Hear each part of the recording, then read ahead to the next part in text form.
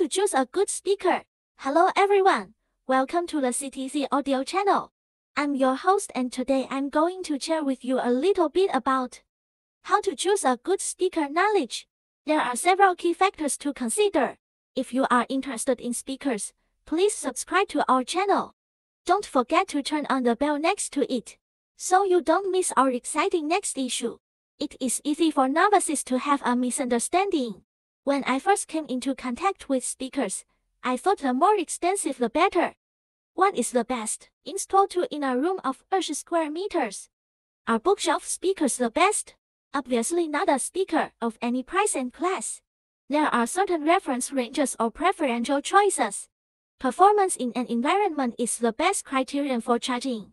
The most important thing about a good speaker is the sound quality. So when we select, we all know that the sound is roughly divided into three frequency bands, high, middle and low. Compare these three frequency bands respectively. Of course, first you turn up the volume to the maximum to see if the sound breaks. If there is no broken sound, then continue to read the first power. Generally depends on the rated power. That is, RMS refers to the efficiency circuit within the rated distortion range the maximum power that can be output continuously, also known as active power. Only at this power, only public amplifiers can output music signals continuously without distortion or with low distortion. If you have used poor quality speakers, should have a deeper experience. That is, the speaker continues to work when the volume is too loud. Distortion, crunch sound, or even direct damage. So pay attention to this when buying speakers. In how much space can the power and speaker coverage be used? This is very important. Second, sensitivity. Sensitivity refers to how well a speaker responds to an incoming signal. The higher the sensitivity the speaker to the input, the more responsive the signal, but it is also susceptible to interference from the sounding environment. On the contrary, the lower the sensitivity, the weaker the response of the speaker less susceptible to interference from the surrounding environment. First, speaker size. Speaker size for sound quality has a significant effect on the size of the room. Smaller speakers are usually better for small rooms, while larger speakers are better suited for large rooms. This is because the size of the speaker wheel affects its sound output and frequency response force impedance. Impedance refers to how well a speaker responds to electrical current.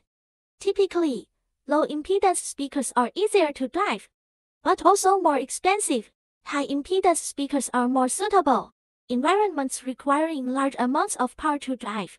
If you need to use high power to drive speakers, then high impedance speakers may be a better choice.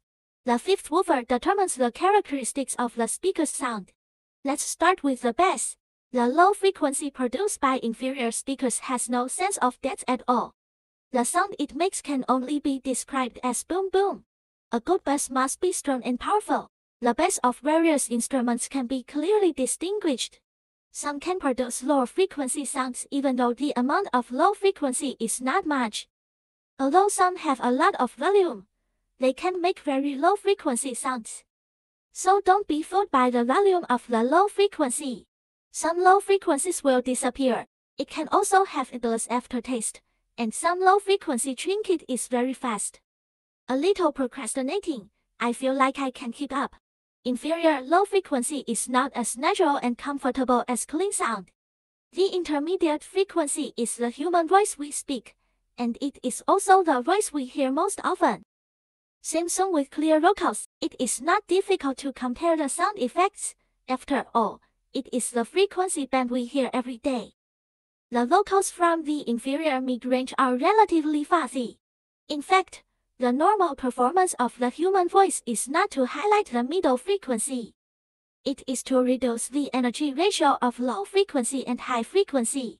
High frequency is most typically the sound from the test instrument, such as the guzheng and other chop instruments. Poor high frequencies sound harsh. Good treble without being intimidating. It makes people's pores stand up the more they listen, the more tired they become.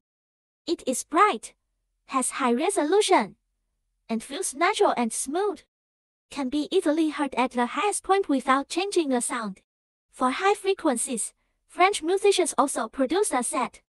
High frequency music therapy. It is a systematic and scientific music conditioning therapy product. So a good treble should be more comfortable to listen to. If you want to know more about our product catalog and learn more about speakers, please add the WhatsApp number in the video below to contact us. If you want to keep learning more about speakers, please subscribe to our channel and turn on the bell next to it so you don't miss our exciting next issue.